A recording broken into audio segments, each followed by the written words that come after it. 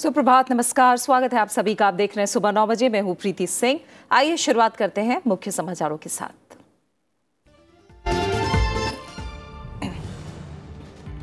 आगामी लोकसभा चुनाव से पहले संसद का आखिरी पूर्ण सत्र 11 दिसंबर से 8 जनवरी तक। संसद का शीतकालीन सत्र बुलाने का सरकार का फैसला। संसदीय मामलों की मंत्रिमंडलीय समिति ने राष्ट्रपति रामनाथ कोविंद से की अनुशंसा। 20 कार्य दिवसों में तीन तलाक से जुड़े बिल और अध्यादेश समेत कई अहम मुद्दों पर होगी चर्चा।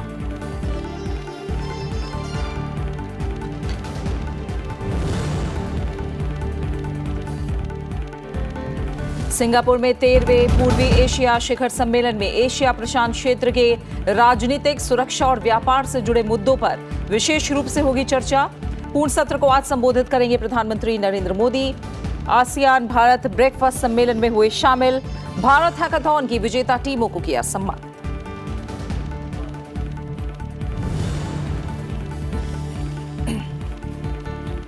राजस्थान विधानसभा चुनाव के लिए बीजेपी ने जारी की 31 उम्मीदवारों की दूसरी सूची। कांग्रेस की पहली सूची का इंतज़ार सीट बंटवारे पर असंतोष के बीच। तेलंगाना में टीडीपी और कांग्रेस की दूसरी सूची जारी। नाम वापसी के बाद मध्य प्रदेश में 2,932 और मिजोरम में 201 उम्मीदवार।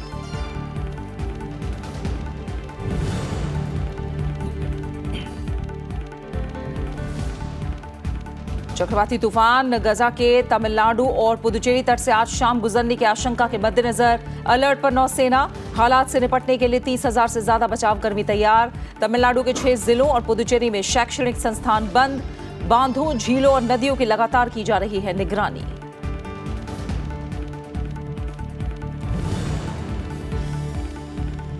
और रिंग में पंच का दम दिखाने को तैयार भारतीय मुक्केबाज। दिल्ली में आज से शुरू हो रहे महिला विश्व मुक्केबाजी चैंपियनशिप में। मैरीकॉम पर सबकी निगाहें। ऐतिहासिक छठी बार स्वर्णिम पंच की उम्मीद। भारत के 10 सदस्यीय टीम समेत बहत्तर देशों के करीब 300 खिलाड़ी ले रहे हैं हिस्सा।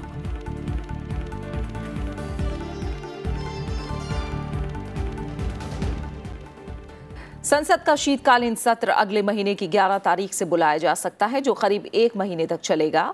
संसदीय मामलों की मंत्रिमंडलीय समिति ने 11 दिसंबर से संसद का शीतकालीन सत्र बुलाने का फैसला किया है और इसके लिए राष्ट्रपति रामनाथ कोविंद से अनुशंसा की गई है। ये सत्र 8 जनवरी तक चलेगा। इस बारे में संसदीय कार्य राज्य मंत्री विजय गोयल ने कल जानकारी दी। उन्होंने कहा कि इस बार शीतकालीन सत्र में 20 कार्य दिवस होंगे। उन्होंने बताया कि सत्र के दौरान कई महत्वपूर्ण विधेयक दोनों सदनों में पारित कराए जाएँगे। संसद का शीतकालीन सत्र अक्सर नवंबर में शुरू होता है, लेकिन ये लगातार दूसरा साल है जब शीतकालीन सत्र दिसंबर में बुलाया जाएगा। इस बार पाँच राज्यों में हो रहे विधानसभा चुनाव को शीतकालीन सत्र में देरी की वजह माना जा रहा है। कैबिनेट की संसदीय मामलों की समिति ने यह तय किया है कि अगला शीतकालीन सत्र 11 दिसंबर से 8 जनवरी तक रहेगा। लगभग एक माह चलने वाले इस सत्र में 20 कार्य दिवस मिलेंगे और मैं समझता हूँ कि इसमें तीन अध्यादेशों और कई महत्वपूर्ण बिलों के ऊपर चर्चा होगी। तीन जो महत्वपूर्ण अध्यादेश हैं, उसमें एक मुस्लिम महिलाओं के अधिकारों को लेकर है, दूसरा इंडियन मेडिकल काउंसिल के ऊपर है और तीसरा कंपनीज़ अमेंडमेंट के ऊपर है। इसके अलावा आठ राज्यसभा में और पंद्रह लोकसभा में महत्वपूर्ण जो बिल हैं, वो उस पर चर्चा होगी। और मैं समझता हूँ कि बहुत से और महत्वपूर्ण विषय आएँगे। सरकार पहले से ही कहती है कि वो हर विषय पर जो भी संसद में नियमों के अनुसार है, उस पर चर्चा करने के लिए तैयार है। और अब खबरें, प्रधानमंत्री नरेंद्र मोदी के सिंगापुर दौरे से जुड़ी।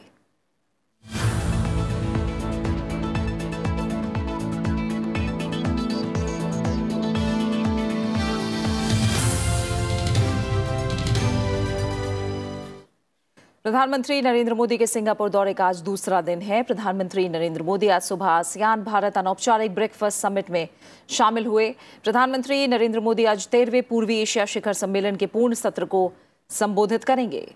सम्मेलन में एशिया प्रशांत क्षेत्र के राजनीतिक, सुरक्षा और व्यापार से जुड़े मुद्दों पर विशेष रूप से चर्चा होगी।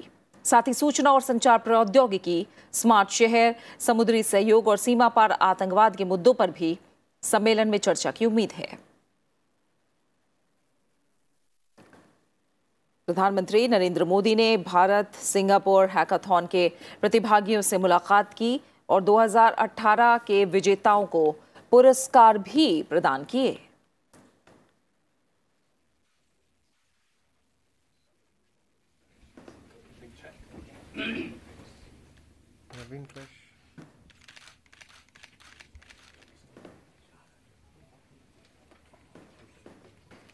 प्रधानमंत्री नरेंद्र मोदी ने भारत सिंगापुर हैकाथॉन के प्रतिभागियों से भी इस दौरान मुलाकात की और 2018 के विजेताओं को इस दौरान पुरस्कार उन्होंने प्रदान किए।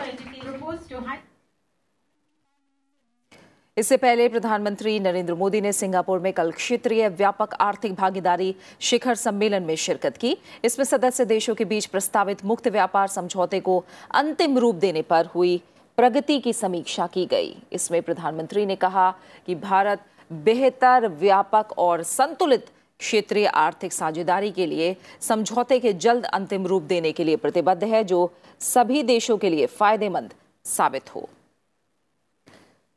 मुक्त व्यापार समझौते को लेकर यह बातचीत 16 देशों के बीच चल रही है। इनमें 10 आसियान देशों के अलावा भारत, ऑस्ट्रेलिया, चीन, जापान, न्यूजीलैंड और कोरिया गणराज्य शामिल हैं।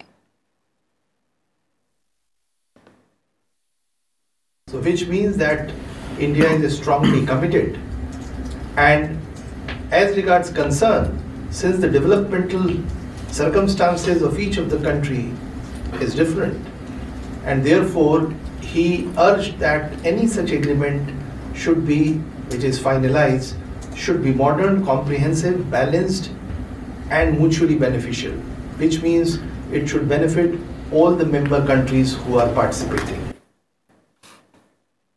प्रधानमंत्री नरेंद्र मोदी ने बुधवार रात सिंगापुर के प्रधानमंत्री की ओर से आयोजित रात्रि भोज में भी शिरकत की। इसका आयोजन पूर्वी एशिया शिखर सम्मेलन में हिस्सा लेने आए सदस्य देशों के नेताओं के सम्मान में किया गया।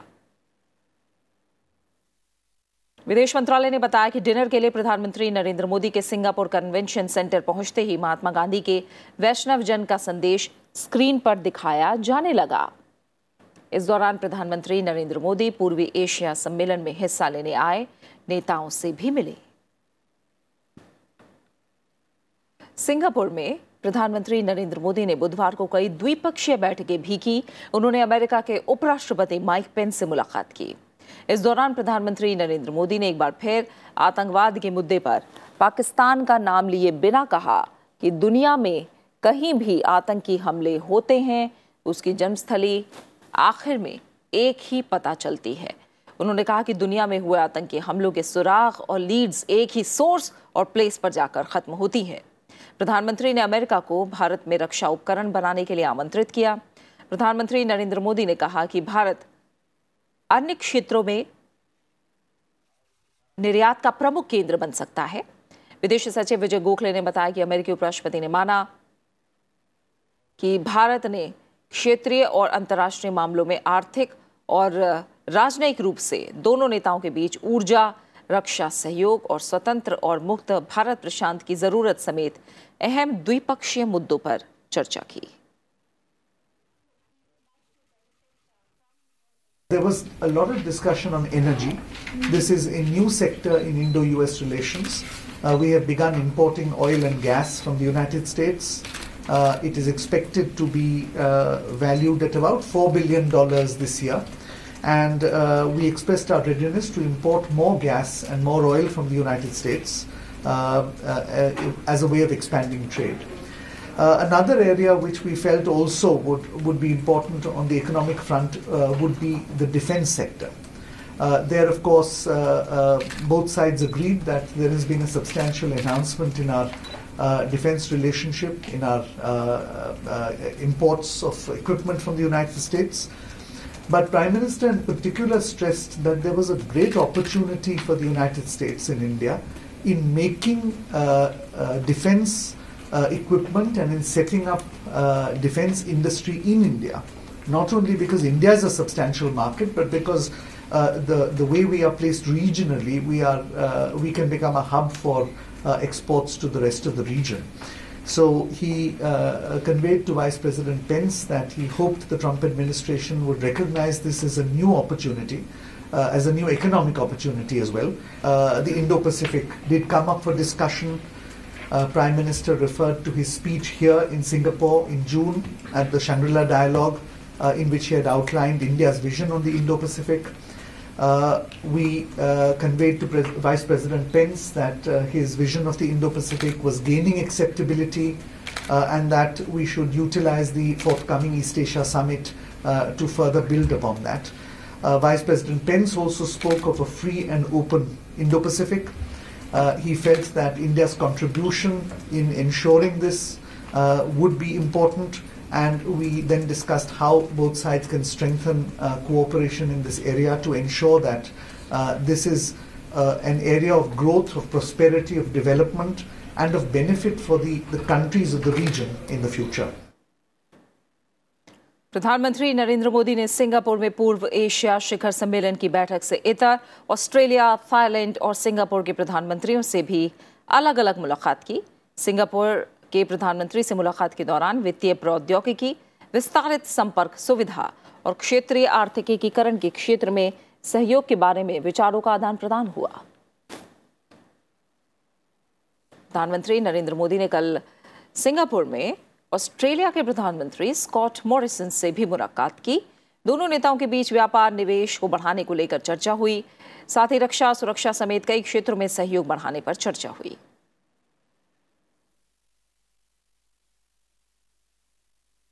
प्रमुख क्षेत्रीय भागीदारों के साथ संबंधों को बढ़ावा देने की भारत की एक्ट ईस्ट नीति के तहत प्रधानमंत्री नरेंद्र मोदी ने थाईलैंड के प्रधानमंत्री जनरल प्रयुत चान ओचा से भी मुलाकात की।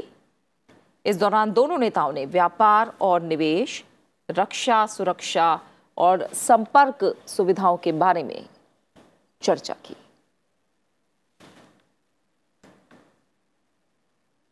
और अब खबरें पाँच राज्यों में विधानसभा चुनाव से जुड़ी।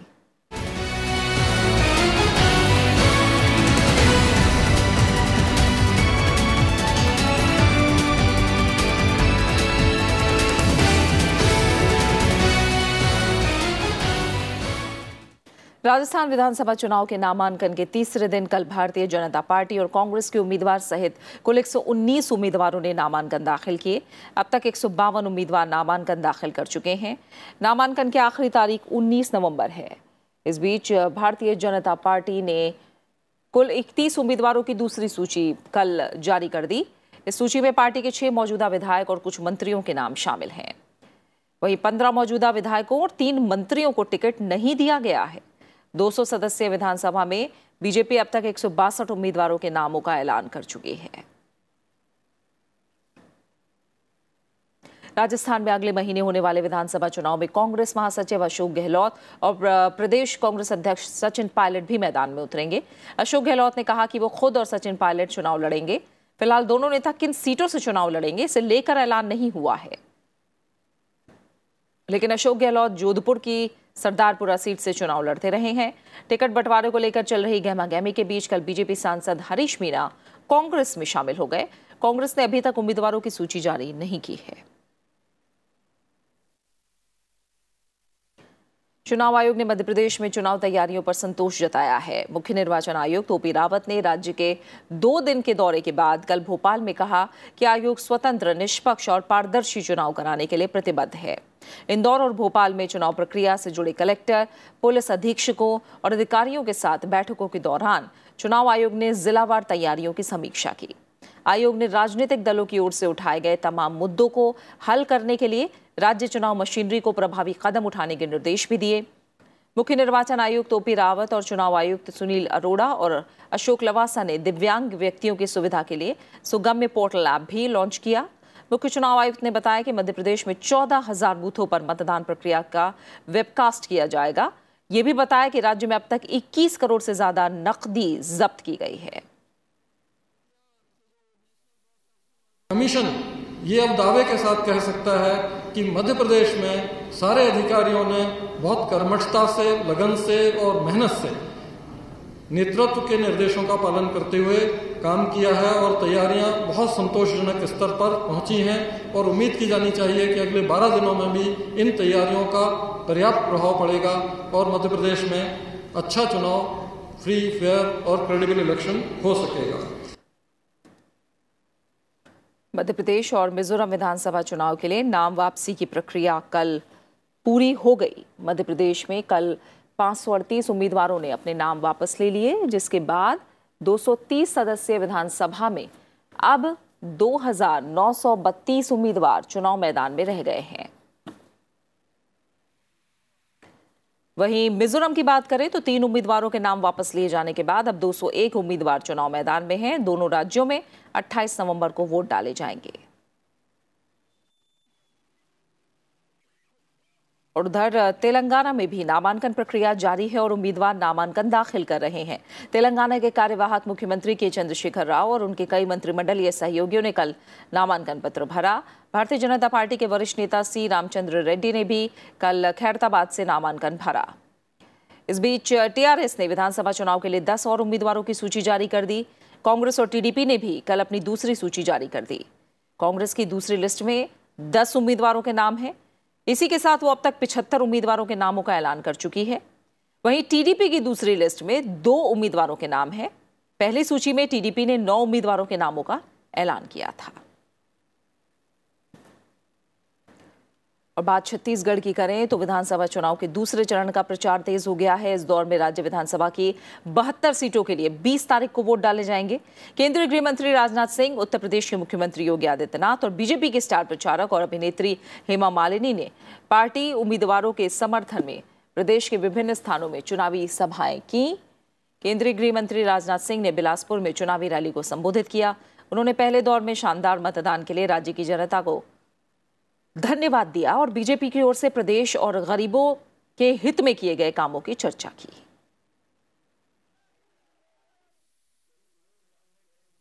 गरीब के परिवार में भी शौचालय बनने चाहिए, केवल अमीरों के परिवार में परिवार में ही शौचालय नहीं होनी चाहिए। गरीब परिवार के माताओं, बहनों की इज़्ज़त और अजमत होती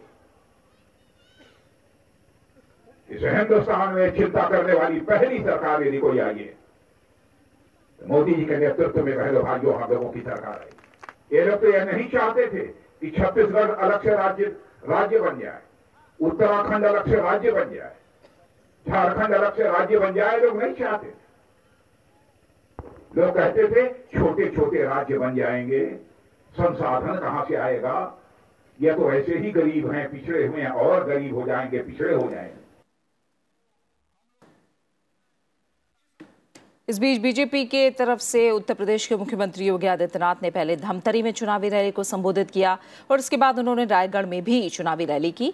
इस रैली में उन्होंने छत्तीसगढ़ में कांग्रेस शासन के दौरान राज्य और इसके लोगों की अनदेखी का आरोप लगाया।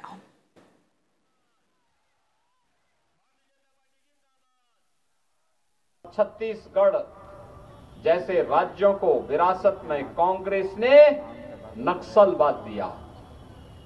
मित्रों कांग्रेस किस अराजकतापूर्ण विभाजनकारी और अलगाववाद और अराजकता को बढ़ावा देने की दुरभिसंधि को पूरी तरह समाप्त करने के लिए लोकतंत्र में एक अवसर पाँच वर्ष में हम सबके सामने आता है। कांग्रेस अध्यक्ष राहुल गांधी ने छत्तीसगढ़ के दौरे के दूसरे दिन कल कोरबा, कबीरधाम, बिलासपुर और दुर्ग में आम सभाएँ की।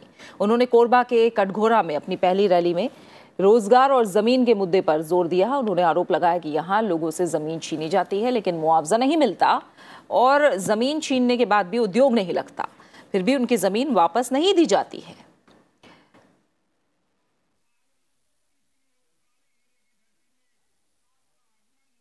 आज छत्तीसगढ़ में बिना आपसे पूछे, बिना किसानों से, आदिवासियों से, गरीब लोगों से पूछे, आपकी ज़मीन छीन ली जाती है।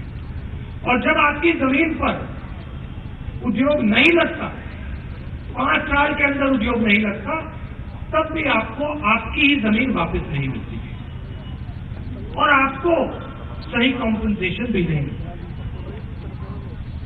कांग्रेस पार्टी की यहाँ सरकार आने वाली है। तो मैं आपको यहाँ से आश्वासन देना चाहता हूँ कि जैसे ही छत्तीसगढ़ में कांग्रेस पार्टी की सरकार आएगी, वैसे ही जमीनी अधिकरण बिल छत्तीसगढ़ में हम लागू कर देंगे।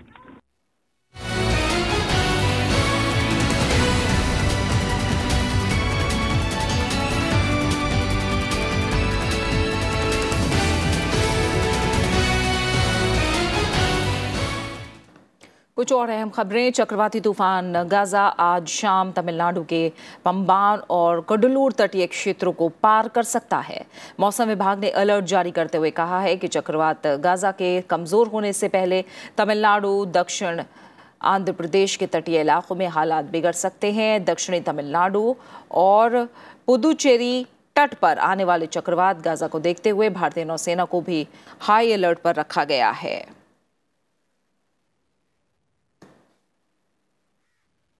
इसके अलावा दो भारतीय नौसैनिक जहाज़ अतिरिक्त गोताखोर डॉक्टर हवा वाली रबड़ की नाव, हेलीकॉप्टर और राहत सामग्री के साथ तैयार हैं। तमिलनाडु सरकार पहले ही तीस हज़ार पाँच सौ बचाव कर्मी को तैयार रखा हुआ है। तमिलनाडु के तंजौर, तिरुवरूर, पुडुकोट्टई, नागपट्टिनम, कुडलूर और रामनाथपुरम के स्कूलों को और कॉलेजों को भी आज बंद रखा गया है। चक्रवाती तूफ़ान के मद्देनजर पुदुचेरी और कराईकल में भी आज सारे स्कूल कॉलेज बंद रहेंगे। केंद्रीय जल आयोग ने बांधों पर लगातार नज़र रखने की सलाह दी है। लोगों को ठहराने के लिए शिविर तैयार हैं। जिला मुख्यालय में एक नियंत्रण कक्ष बनाया गया है जो 24 घंटे काम करेगा। मछुआरों को समुद्री तटों से दूर रहने की सलाह दी गई है।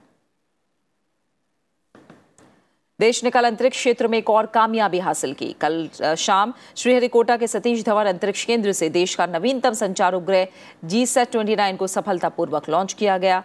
अपनी दूसरी उड़ान में GSLV M K three rocket ने जी सेट ट्वेंटी नाइन उपग्रह को करीब 16 मिनट में इसके शुरुआती भू स्थिर कक्षा में स्थापित किया।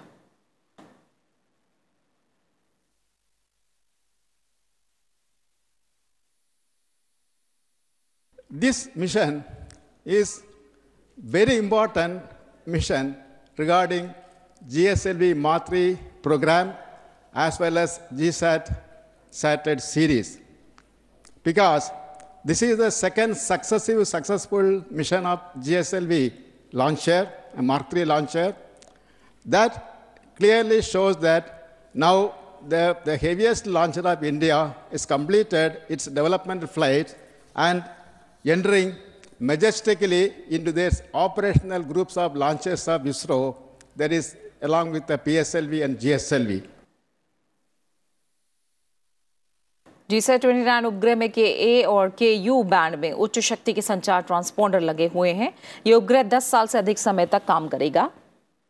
देश के दूर दराज वाले इलाकों में उच्च गति के संचार को बढ़ावा मिल सकेगा। पांचवी पीढ़ी का प्रक्षेपण यान जीएसएलवी मार्क थ्री महत्वपूर्ण माना जा रहा है। इसके सफल प्रक्षेपण के साथ ही राष्ट्रीय अंतरिक्ष एजेंसी इसरो चार टन तक के भारी प्रक्षेपणों के लिए तैयार हो जाएगी। इसकी सफलता से अगले साल के महत्वपूर्ण मिशन चंद्रयान टू के लिए भी सहायता मिल सकेगी। जी सैट ट्वेंटी नाइन उपग्रह के सफल प्रक्षेपण के बाद डेटा हस्तांतरण की गति बढ़ेगी।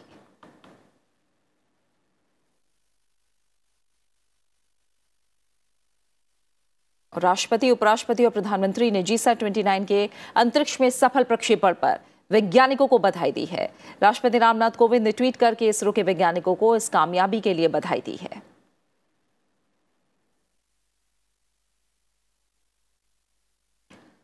उपराष्ट्रपति एम वेंकैया नायडू ने इसरो के वैज्ञानिकों को उनकी कामयाबी पर बधाई दी। उन्होंने ट्वीट किया कि इससे दूर दराज के इलाकों में संचार सुविधाओं में इजाफा होगा। प्रधानमंत्री नरेंद्र मोदी ने उपग्रह और जीएसएलवी मार्क थ्री के सफल प्रक्षेपण पर वैज्ञानिकों को बधाई दी है।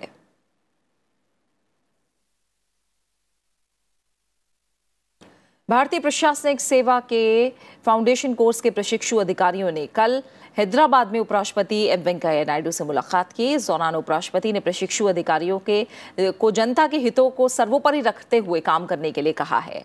उन्होंने कहा कि अधिकारियों को खुद को स्थिति के हिसाब से ढालते हुए पुरानी प्रथाओं को बदलने की दिशा में काम करना चाहिए, ताकि लोक कल्याण के कामों में तेज़ी लाई जा सके। उपराष्ट्रपति ने देश में सामाजिक, सांस्कृतिक, भाषाई, धार्मिक और आर्थिक मतभेदों को दूर करने पर भी ज़ोर दिया। उन्होंने कहा कि निर्णय लेने और विकास के कामों से जुड़े एजेंडे में आम आदमी की भूमिका भी होनी चाहिए। उपराष्ट्रपति ने अधिकारियों से कल्याण संबंधित मुद्दों समेत विभिन्न सामाजिक, आर्थिक मुद्दों पर चर्चा की। प्रशिक्षु अधिकारियों को उनके पेशेवर जीवन में सफलता के लिए शुभकामनाएँ भी दी।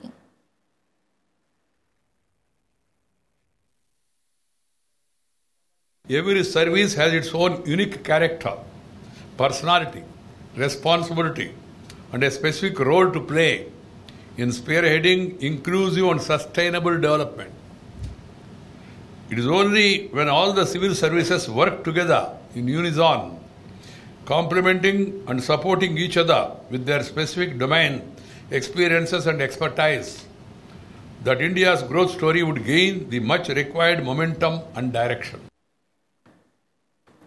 Delhi के प्रगति मैदान में इस साल का ट्रेड फेयर कल से शुरू हो गया है, लेकिन हर साल के मुकाबले इस बार मेले का आयोजन छोटे स्तर पर किया गया है और उसकी वजह है प्रगति मैदान के एक बड़े हिस्से में चल रहा निर्माण कार्य। ट्रेड फेयर में हर साल करीब 6000 प्रतिभागी शामिल होते थे, लेकिन इस बार जगह की कमी के चलते यहाँ 800 प्रतिभागी ही हिस्सा ले रहे हैं। राजधानी दिल्ली के प्रगति मैदान में बुधवार से 38वें भारतीय अंतर्राष्ट्रीय व्यापार मेले की शुरुआत हुई। इस बार मेले की थीम महात्मा गांधी से प्रेरित है, जिसका नाम रूरल एंटरप्राइज इन इंडिया रखा गया है। ट्रेड फेयर में भारत की पार्टनर कंट्री अफ़गानिस्तान और फोकस कंट्री नेपाल है, जबकि फोकस राज्य झारखंड को बनाया गया है। MSME sector is a very very important sector or especially for this nation 40% of the manufacturing sector manufacturers come from the this MSME sector, rural enterprises. We have to develop the rural enterprises. We have to encourage them. पिछली बार की तरह इस बार भी पाकिस्तान ने trade fair में हिस्सा नहीं लिया है। इस बार ट्रेड फेयर में भारत के साथ 15 देश शामिल हैं, जिनमें अफ़गानिस्तान, नेपाल, चीन, Hong Kong, Kyrgyzstan, Iran, Myanmar, Netherlands, दक्षिण अफ्रीका, दक्षिण Korea, Thailand, Turkey, Tunisia, Vietnam और यूएई शामिल हैं। हर साल जो मेला प्रगति मैदान के बहुत बड़े हिस्से में आयोजित होता था, इस बार निर्माण कार्यों के चलते वो सिर्फ़ 20 फ़ीसदी हिस्से में लगा है। यानी इस बार लोगों को ट्रेड फेयर में कम स्टॉल देखने को मिलेंगे। As the nation celebrate the hundred of Mahatma Gandhi birth anniversary the of this rural enterprises in India seems so appropriate it will help highlight the of rural artisan craftsman and farmers issues of rural credit backward and forward linkages marketability, among others. Trade fair 14 नवंबर से 27 नवंबर तक चलेगा और पहले चार दिनों तक सिर्फ़ कारोबारी ही ट्रेड फेयर का दौरा कर सकेंगे। उसके बाद 18 नवंबर से मेले को जनता के लिए खोल दिया जाएगा। ट्रेड फेयर के मद्देनजर दिल्ली मेट्रो ने भी खास इंतज़ाम किया है। लोगों को दिल्ली मेट्रो के छियासठ स्टेशनों पर ट्रेड फेयर की टिकट मिल सकेगी। हालाँकि भारी भीड़ के चलते प्रगति मैदान मेट्रो स्टेशन को टिकटिंग काउंटर की लिस्ट से बाहर रखा गया है। अनु दीवान, राज्यसभा टीवी। और अहम अंतर्राष्ट्रीय खबर में ब्रिटिश सरकार के कैबिनेट मंत्रियों ने पाँच घंटे की लंबी चर्चा के बाद ब्रिटेन के यूरोपीय संघ से बाहर जाने के संबंधित समझौते पर प्रस्तावित मसौदे पर मुहर लगा दी है। लंदन में हुई इस बैठक में कैबिनेट ने भविष्य में ब्रिटेन और यूरोपीय देशों के बीच के रिश्तों के संबंध में एक राजनीतिक घोषणा पत्र पर भी मुहर लगाई है। प्रधानमंत्री थेरेसा मे ने कहा है कि ये एक निर्णायक फैसला है और उन्हें पूरा भरोसा है कि ये देश के हित में है। थेरेसा मे आज संसद में इस फैसले पर बयान देंगी। हालाँकि इस मसौदे को लेकर प्रधानमंत्री मे को विरोध का भी सामना करना पड़ा है। बात खेलों की, आज से दिल्ली में दसवें महिला विश्व मुक्केबाजी चैंपियनशिप का आगाज़ होने जा रहा है। भारत की दस मुक्केबाज विश्व चैंपियन बनने के इरादे से रिंग में उतर रही हैं और इस समय पूरे देश की नज़रें एक बार फिर मेरे कॉम पर हैं, जो रिकॉर्ड छठी बार स्वर्ण पदक जीतने के लिए खेलेंगी। चैंपियनशिप में बहत्तर देशों के तीन सौ मुक्केबाज हिस्सा ले रहे हैं। महिला विश्व मुक्केबाजी चैंपियनशिप चौबीस नवंबर तक चलेगी। वहीं आईसीसी महिला टी ट्वेंटी विश्व कप में आज भारतीय महिला क्रिकेट टीम का मुकाबला आयरलैंड से होगा। अपने पहले दो मैचों में आसानी से जीत दर्ज करने वाली भारतीय महिला क्रिकेट टीम आज आयरलैंड के खिलाफ उतरेगी। दोनों टीमों के बीच मैच रात साढ़े आठ बजे से गुआना में होगा। ग्रुप बी में अभी तक भारत ने अपने दोनों मैच जीते हैं। पहले मैच में भारत ने न्यूजीलैंड को चौतीस रनों से मात दी थी। तो वहीं अगले मैच में पाकिस्तान को सात विकेट से हराया था। दोनों मैचों में टीम ने शानदार प्रदर्शन किया। पहले मैच में कप्तान हरमनप्रीत ने शानदार शतक जमाया था। और इसी के साथ फ़िलहाल सुबह नौ बजे की खबरों में मेरे साथ इतना ही। ब्रेक के बाद विशेष में देखिए जलता कैलिफ़ोर्निया। नमस्कार।